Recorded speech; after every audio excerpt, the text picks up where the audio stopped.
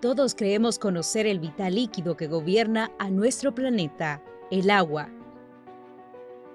Y es que el suministro de agua potable es un problema que ha ocupado al hombre desde la antigüedad.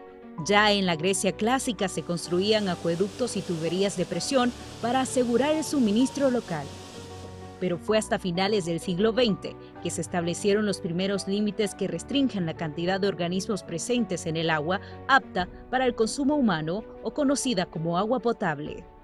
Se habla de que el agua es incolora, insabora, inodora. En la realidad siempre hay elementos mezclados con el agua que le hacen que pierda estas características físicas que la hacen ser pura. Entonces, acá cuando se habla de tener un agua potable o para consumo humano doméstico, es que tenga una cantidad de elementos que no puedan interferir con la salud de la población y que le pueda brindar una vida digna.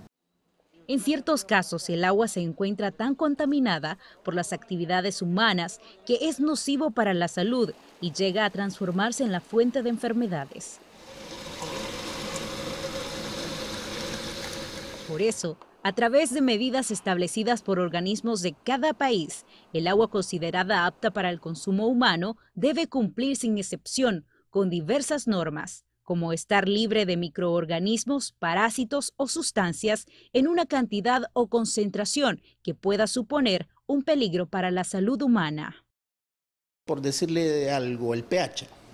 El pH del agua tendría que ser, si es agua purificada, tendría que ser 7 pero en agua de consumo no es así, sino que ya es un rango que puede estar entre 6 hasta por 9 en ese, en ese detalle.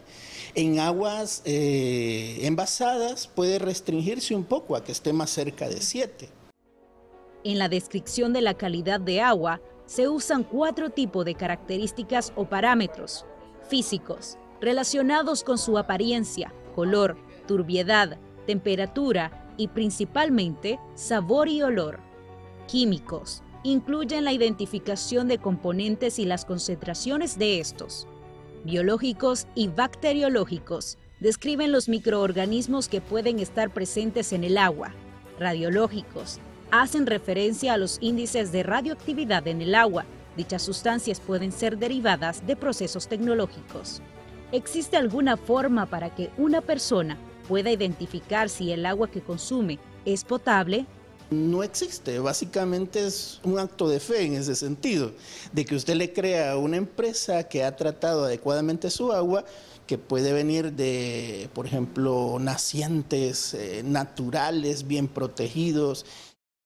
Entrevistamos a algunas personas que utilizan ciertos métodos para tratar de purificar el agua pudiera ser hervir el agua o ocupar algún tipo de, eh, bueno, usar filtros, por ejemplo, en la casa, ¿verdad? Creo que ese es uno de los métodos efectivos para que la población pueda consumir el agua. Eh, así como está ahorita lo que es el, problema que se ha tenido, eh, lo más seguro es el agua embotellada.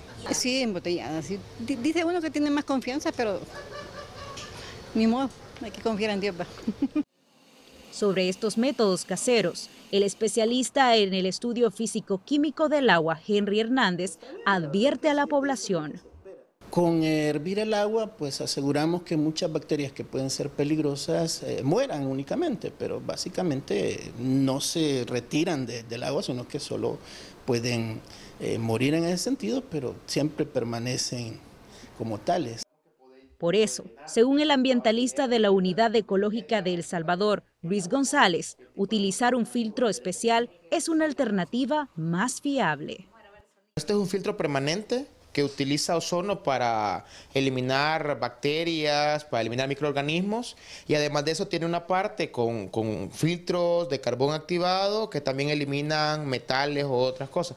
Entonces, digamos de que esta es una de las soluciones que puede tener la población, entonces digamos que ya el agua sale, sale limpia.